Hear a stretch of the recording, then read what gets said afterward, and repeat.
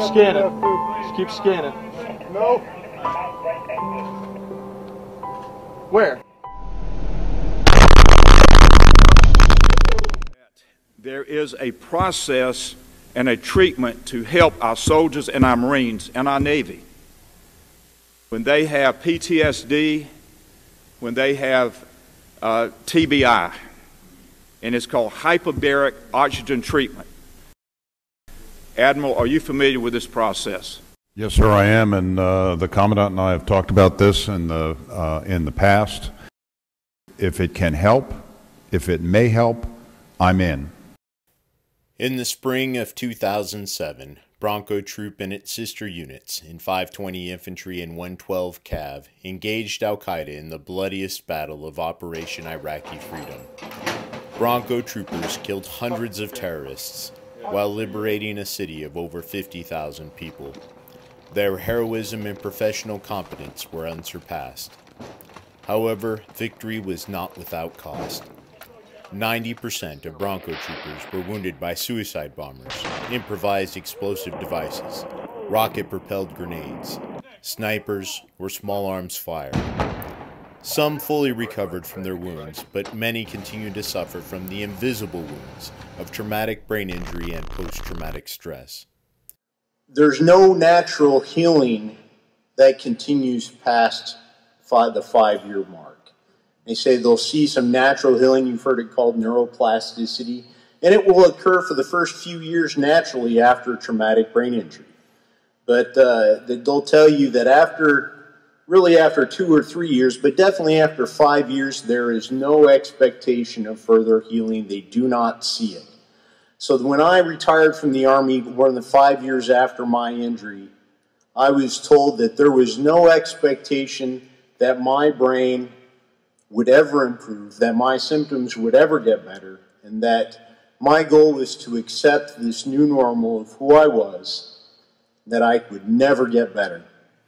People approach me with this idea or that in terms of how to treat T- TBI or PTSD. Uh, but I will tell you, I, uh, I have seen none out there that I'm more encouraged by than what I would call at this point the ad hoc results of hyperbaric treatment. Uh, there is a doctor down in uh, New Orleans uh, who treats people, uh, and through some of our charitable organizations and so forth, we have sent forward those Marines suffering that we thought might be suicidal to get them into a treatment regimen because it can't hurt, it can only help. Uh, and so, even in those cases, we're encouraged by some of the things that we're seeing. So, we, we think that, that we're on to something here. Hey, there was dudes in the alleyway again. They're trying to go grab that RPG they dropped.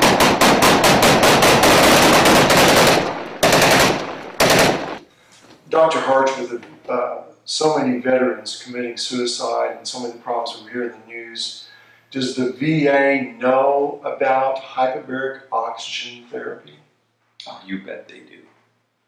They well know about this. I've shown this to multiple VAs. We've met at least twice, me personally, uh, but my team now, I believe, three, four times with the, the top VA researchers um, who are doing studies on traumatic brain injury. We have met with, and I have presented this data and the science behind it to uh, the New Orleans VA, Shreveport VA, Houston VA a couple of years ago, their entire brain injury and PTSD group of uh, doctors and researchers to combined grand rounds of the Tampa Bay and West Palm Beach VA a few years ago, and the entire lecture was videoed and disseminated by live feed to 13, I believe, other VAs around the country. VA is, is well aware of this. Uh, but we cannot understand why they won't at least try this when everybody is in agreement that it is safe done on the protocol that I've developed in this lower pressure range, that there is increasing evidence of its effectiveness, and they have no other therapy. Their current therapy are these drugs that have been implicated in the increased suicide epidemic in veterans. We're not in understanding. I, I it is. I mean, and you even satisfy the Hippocratic oath. As I said before, it's all prescribed regimen while doing no harm. Most doctors will want to say, "Oh, it's first do no harm." Okay, fine. First, we're not doing harm, and it might be effective when you have essentially no other effective therapy. One year ago, I lived with chronic disabling pain from post-concussive headaches, frustrating and limiting cognitive impairments, emotional instability, and an emotional numbness that left feelings like love and happiness as hazy memories of a distant past. And after years of drugs, treatments, and therapies, I had no more hope. Today I have reason to hope and dream and to love again thanks to Dr. Paul Harch. You know, when the people closest to you start using words like miracle about the changes that they see about in you, that you're onto something.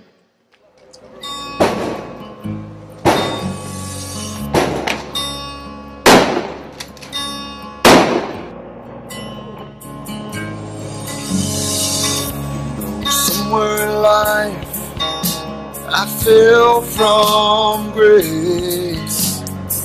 It's not always easy to admit when we make mistakes.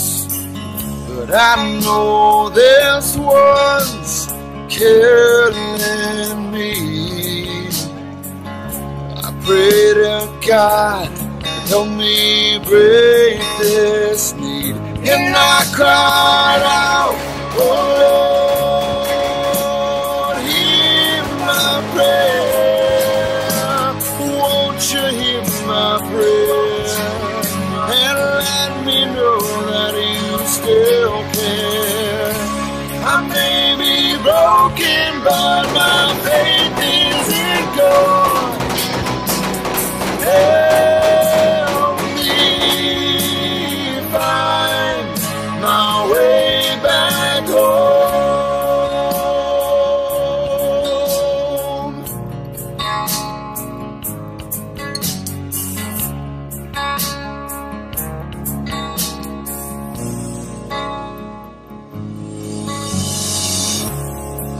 stumbled my way across this little town to empty church where I kneeled down.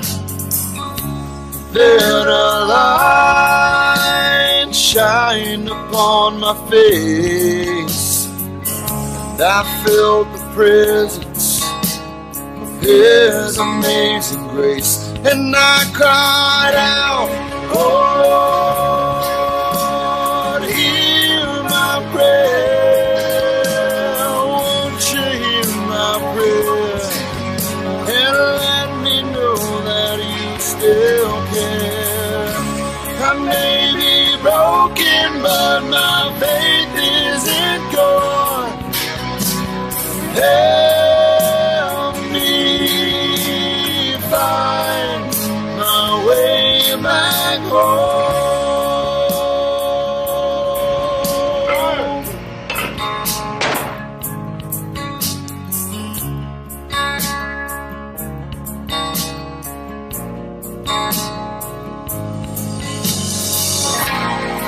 I hitched a ride out of the Frisco Bay all the way to the end of my parents' driveway. My dad is working out in the yard. He dropped his shovel as I got out of the car, and I heard him say, Oh Lord, you heard my prayer. Yes, you heard my prayer. It's nice to know that you still care. I may be broken, but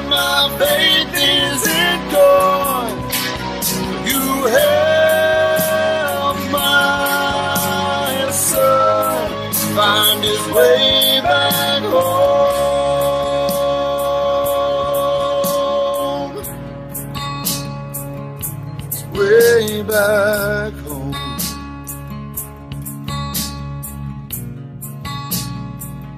And I cried out, Oh Lord, you heard my prayer. Yes, you heard my prayer.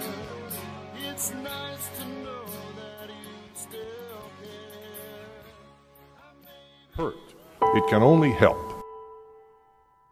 Uh, and so, even in those cases, we're encouraged by some of the things that we're seeing. So, we, we think that, that we're onto something here. Well, I- I want to thank Com- Mr. Commandant, you and the Admiral for your statements. I wanted to get that on the record because I intend to work with my colleagues on both sides of the aisle to push this treatment for those uh, in the Army and the Marine Corps. And I would really appreciate your, your commitments uh, to our men and women in uniform, and thank you for those statements. And with that, Mr. Chairman, I will yield back, and thank you again for your statement earlier.